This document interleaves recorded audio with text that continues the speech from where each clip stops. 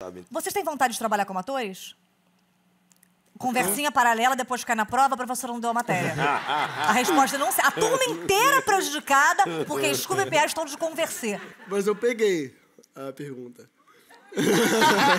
Graças a Deus. Qual era a pergunta, Scooby? Vocês têm vontade de ser ator, né? Seu quadro Toque de Brothers. Pode começar. Você tem alguma coisa pra dizer? Diz logo, cabeleira. Você tá me deixando nervosa. Foi bom, mas eu acho que você tem que estar mais. Mas, Mais. tá bom. Você tem alguma coisa pra me dizer? Diz logo, cabeleira. Você tá me deixando nervosa. Isso, e, e- e de repente assim, mexendo. um- Isso, mais sensual. Você tá me deixando nervosa. Chegamos, hein? Chegamos, temos, temos. Eu fui chamada pra dirigir tá Cidade de Deus. né? Entreguei, Tá entreguei. entregando, tá entregando. É que eu tô escolhendo as palavras certas, tá sabendo?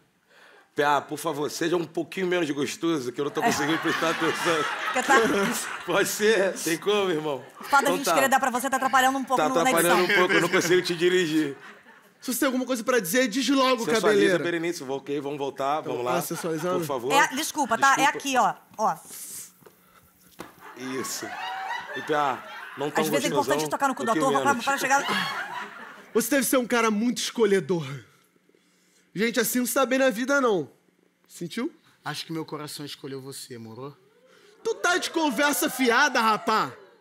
Coração de malandro é na sola do pé e não desperta. Não fica sempre na moita.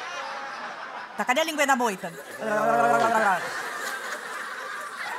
Chegando perto Tome. dela, da Berenice. Tu já viu falar em amor à primeira vista? Temos? Eles estão criando tá, a tensão, o tesão entre vocês. A gente tem que sentir assistindo. A gente tá com tesão também. Então vocês têm que estar se controlando. Entendi. Igual aquele vídeo. É, ó, ó. Malandro não ama. Malandro só sente desejo. Esquece o texto. O que você tá com vontade de fazer agora que é nítido pra gente? O Brasil todo tá vendo. Assim não dá pra conversar. Tudo que eu falo, tu mete a foice. Malandro não fala. Malandro mete uma letra. Vai chegando perto. Vai chegando perto, Gabriel. Nada, Vai chegando rapaz. Tá perto. 7-1. Scooby, não deixa que o Scooby fale mais alto que a Berenice. Você quer beijar? A Berenice não beija, velho. Ah, no texto beija. No final, sim. Final, no final. É uma outra versão Estão pra- chegando, estão chegando. Seduzindo, seduzindo. Tá gostoso pra caralho. Como é que cala ele com um beijo, hein? Malandro vira otário quando ama.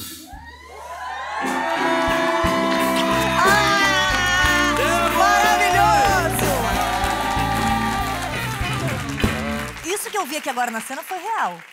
Não, mas é real pra caralho. É, porque a amizade, às vezes, extrapola. Às vezes você tá dormindo com um amigo, você ama muito amigo, você, você, você faz coisas que normais. Você, às vezes, tira a roupa do amigo. Às vezes, você dá um banho no amigo. Às vezes, você dorme um colocando, brincando. Normal com um amigo em casa de uma mulher. É normal. Eu sou uma vagabunda.